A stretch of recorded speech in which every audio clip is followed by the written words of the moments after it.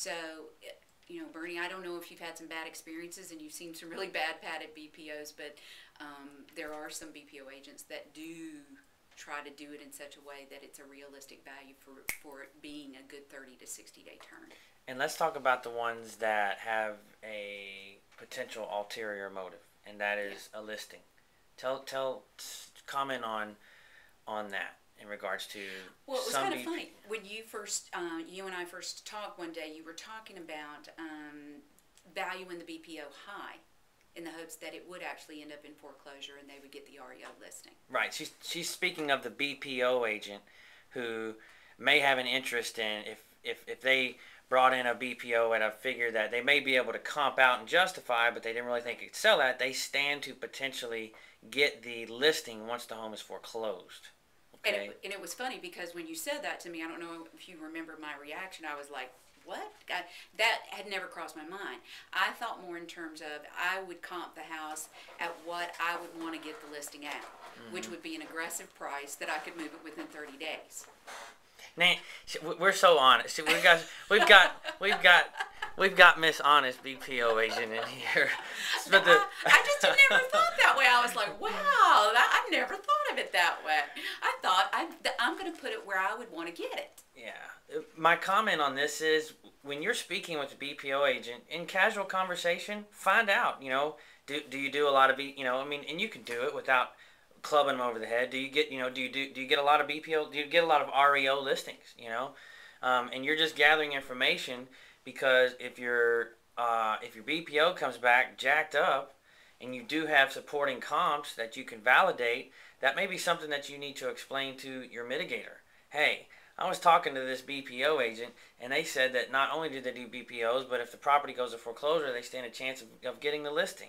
So there's there's somewhat of a conflict of interest there, and it's definitely a question that I always always ask when I'm meeting the BPO agent, and it's something that you need to uh, always always remember to ask because there's you know there's a potential of uh, just as you want comps to come in low, okay, for your own motivation, they want might want comps to come in high for their motivation. So, you know, you, you've got a tug of war here with, with BPOs. It is that way. It's always going to be that way. Um, you, you know, you're going to get smarter and smarter at, at, at getting what you want, and BPO agents and clearinghouses are going to get smarter and smarter at trying to go their direction. And it's just the market. It is what it is. Suck it up. Go to all your appointments. Do your best.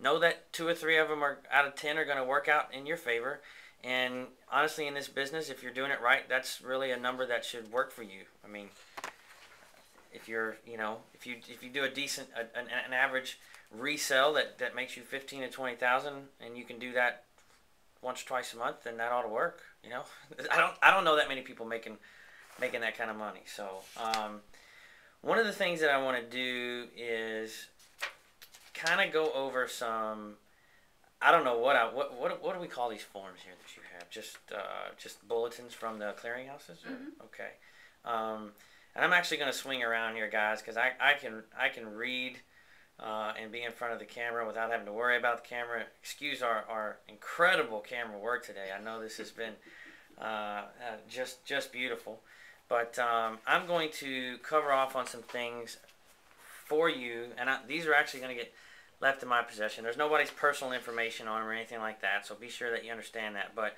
I'm going to try and swing around here and get in here with the crew and kind of read some things to you. And I have no idea if I'm really going to be in the picture because there's nobody behind the camera now. But um, even even you got to understand here my, one of the points that I want to make today is that there's no magic formula, okay? Just as you just heard an answer to a question that a lot of times you'll get red flagged or harassed if your if your value is a whole lot different than the listing price, okay? I've got I've got something here from a, a clearinghouse that says don't put much weight on the current list price or days on the market if the subject is a short sale it can't be trusted that the property has been properly exposed to the market. Instead, let your comps dictate the subject value, okay? That might be the case for this clearinghouse, but another clearinghouse, she might get a bad grade for following that particular That's exactly right. particular rule, right? Mhm, Okay. Exactly. So, just as you, just as an investor, you're working to influence this. Clearinghouses are working to influence things as well, and they all have different requirements and different uh, needs. I guess you sort of wants, you should say. Um, another thing that I'll read to you is, and, and this has always been uh, uh, very very challenging for me to understand, is a lot of clearinghouses will try and dictate that you put very very limited emphasis on REOs. And if this home gets foreclosed on, it's going to end up as exactly that an REO. Okay, very few people are buying homes at auctions right now. So, um, where is that at? Y'all hang in there with me for just a second. Um, let's see, let's see. Well, not only that, let's say that it does end up as an REO property, or it doesn't. it's competing with REOs. So, uh, that's the reality of the market in most places right now. Yes, and, and, and so even though that's a re- reality of the market, you're getting clearinghouses putting emphasis on not necessarily you don't use the don't try to minimize the use of those comps, even though that's the truth of what's happening in, in, in the marketplace. At least where I'm at. I mean, we're here in Florida, folks.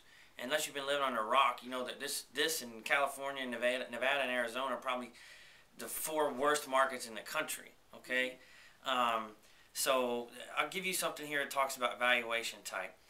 The, the type of valuation requested, okay, can be found in the broker instructions on every BPO under the purpose section. REO comps should not be used in fair market valuations, even in a declining market.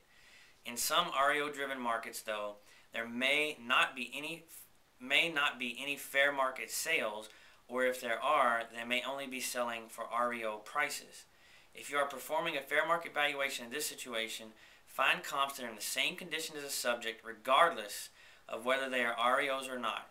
Good comments about REO activity should explain why you had to use REO comp. So if you use an REO comp, you got to like give an explanation as to why you used it. Not, it's not just as simple as, um, oh well, you're about to get an REO, Mr. Lender, so why don't we compare apples to what your apple's about? About you're about to get an apple, so why don't we compare those? Okay. Um, Let's see, let's see. Many customers request a distressed valuation because the loan is at risk or already in delinquency or in default. In this case, REO comps should be used if they are in a subject's neighborhood and comparable in condition and characteristics.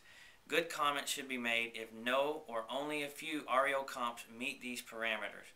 Please also consider a downward adjustment on fair market value sold comps to reflect a distressed value. So again, you may have uh, you may have a bank who has asked the clearinghouse to don't give us fair market, give us distressed, give us REO comps. Okay, so you got banks saying, you know, give us REO comps, don't give us REO comps. How in the world do you really determine fair market value in this climate? All right, that's the challenge. Um, I think right now fair market's just about what you can get get somebody to buy the property for.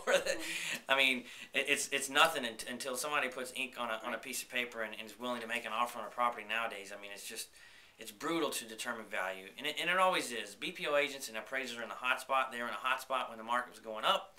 They're in a hot hot seat, I should say, when the market's going down. So.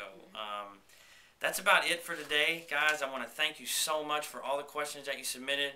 I want to thank, it's, it's so hard for me not to say her name since I've known her for so long, but I want to thank our wonderful BPO agent for, for being here with us today, being candid with us. I hope that this has been an incredible learning experience for you.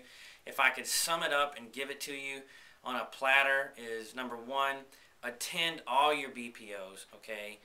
Face the fact that not all of them are going to go your way. Show up like they are. Bring your bring your contract. Bring your comps that you that you that you've pulled that substantiate your your contract. Show up. Know that it's an opinion, but know that the vast majority of it, a lot of it, is personality. It's your personality, the BPO agent's personality, and, and how you treat them.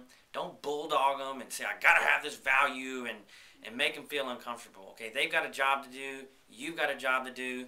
If you guys can come together um, on something that, that makes sense, where it's, it's a value that's sound, it can be validated, and you can purchase the property at, at something that makes sense for you as an investor, then get it done. But again, it's all opinion. Opinions are all across the board, and it's this is all about personality. Okay, there's no secret ninja tricks that all these you know gurus are talking about. You, if you do this, if you do that, just show up, be yourself, be comfortable, be confident. Okay, go over the go over the comps.